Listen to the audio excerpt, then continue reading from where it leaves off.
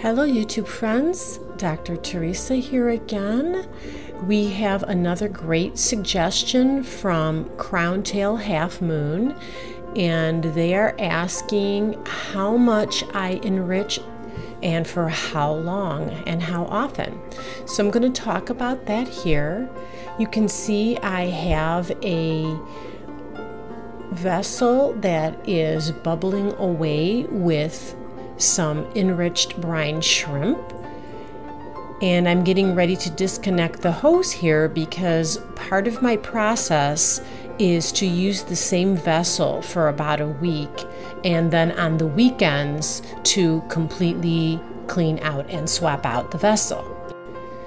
You can see when I move the hatching vessel and tank over to a sink and take off the lid off of that tank, all the buildup from the hatching and enrichment vessel, I should say, from just a week. So it's important to clean that out. And I actually do swap enrichment vessels, which I'll show in a little bit. And what I'm doing is I'm pouring all of that enrichment solution into a sieve and there you can see there's still lots of live brine shrimp in there. So I don't want to get rid of that. I'm actually going to rinse that off and put that in the dwarf seahorse tank. But with that shrimp out, you can see very well all the buildup inside of the enrichment vessel, which makes it very clear it's a good idea to clean that out regularly.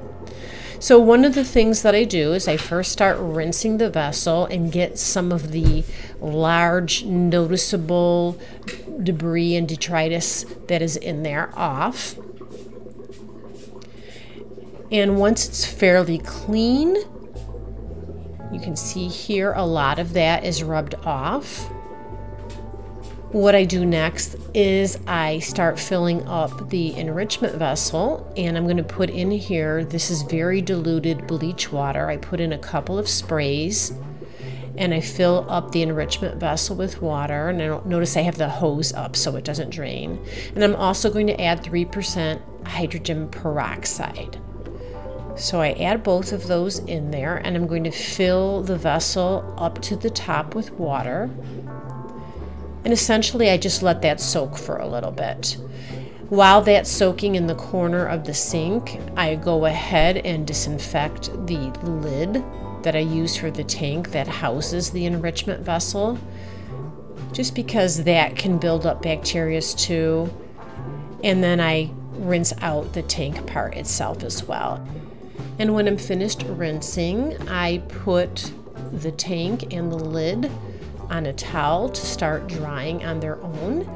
And then I go back to the enrichment vessel. I dump out the water. It's mostly disinfected now, but you'll notice when I wipe the inside with a paper towel, there is a film coming off. So I like to get in there with a paper towel and really wipe very well until literally it is squeaky clean inside. Now that does pretty well, but at the very bottom, that's a little tricky to get into. So I do add one extra step. I add more 3% hydrogen peroxide just to the very bottom. And you notice how it's really bubbling away, which tells me there's still a lot of bacteria in there. So I'm gonna let that sit a little bit and let it go until it stops bubbling and while it does that, I'm going to go ahead and finish drying off the tank. And I'm not really worried about the tank having a lot of bacteria or anything like that. I just like to keep my equipment very nice, not only looking good, but it just helps it stay in good working condition and not falling apart because it's so caked with salt and things of that nature. So I go ahead, get all of those things, and after a while, you can see that the bubbling has stopped so I am ready to get that last little bit out. Use my paper towel once again to get that bottom. And now I'm ready to swap out the vessel. I like to take the hatching vessel, the one that I've cleaned, and put it aside. And for the week, it will just sit there and air dry. And that's just another way to prevent buildup of, of bacteria. And I put the other one up on the shelf. Then I pour water into the enrichment vessel. And I already have a batch of brine shrimp that was ready to transfer in there, so I do add it to the vessel. And now I'm ready for my enrichment. Normally I'd probably add a little bit more than I have here. I add anywhere from about one quarter to a third of a cup at a time. I don't really measure it, but I look for coloration. So if I have a lot of brine shrimp like I do here, I try to add enough where I can see the green or the dark green. So this isn't bad. I normally, for a new batch, would make it a little darker. But then when that step is completed, I plug in the hatcher.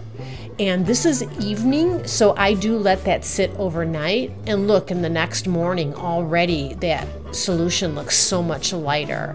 But it is good enough for me to um, use for feeding the brine shrimp. And at night, what I do is I scoop out a little bit of the solution because I'm doing basically a mini water change. And so now I'm pouring the brine shrimp into my sieve this way. And there's no advantage to it other than, like I said, it allows me to do a small water change because I can refill that water with more salt water that I took out, replace it, and it just extends the life. Here is my brine shrimp um, bucket of salt water that I was preparing. So I replace what I took out. And here I have a new batch of the enrichment that I just made. So I'm going to, again, at night, 24 hours later after the first time, I'm going to add more of the enrichment. And again, I want mm, anywhere from a half, well, I'd say closer to a quarter to a third of a cup. Uh, basically, I just go by how it looks in the um, enrichment vessel. So every 24 hours, I set the enrichment and I just keep adding more brine to brine shrimp to that enrichment vessel. Every time I hatch more out, I go ahead and put it in that vessel and I use that same solution with the mini water changes for the next week. So that is my process. I hope this helped you figure out how much enrichment you should be using for your brine shrimp and how often you can add the enrichment. Thanks so much for watching. Take care and hope to see you next time. And if you have any questions, please reach out and let me know. I love answering them with new videos.